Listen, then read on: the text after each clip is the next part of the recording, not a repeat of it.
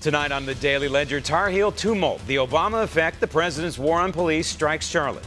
We will examine this terrorist attack and the latest on the Islamic terrorist in New York. Also, Obama doubling down on the Muslim invasion of America. Plus, former President George H.W. Bush apparently ready for Hillary.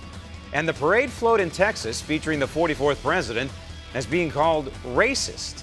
Tonight, 8, 8 o'clock Eastern.